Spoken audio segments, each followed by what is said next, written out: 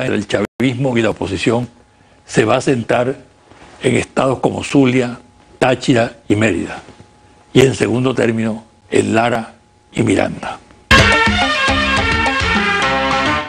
En Miranda se da la particularidad de que la carta del chavismo, el ex vicepresidente Elías Jagua, arrancó con mucha fuerza y está llegando a diversos sectores sociales, mientras que la candidatura de Capriles luce engatillada, sin definiciones, y de ahí la pobreza de los actos que realiza.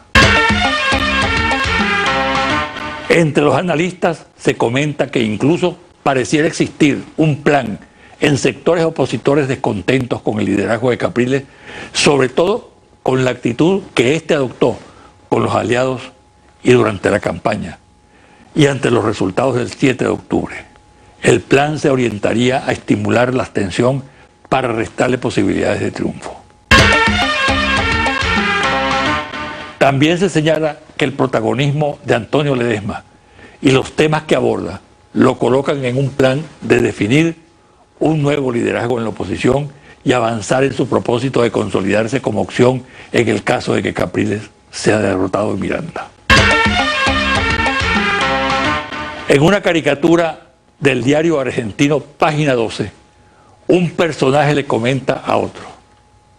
En Estados Unidos ganó Obama, que al lado de Romy es kirchnerista.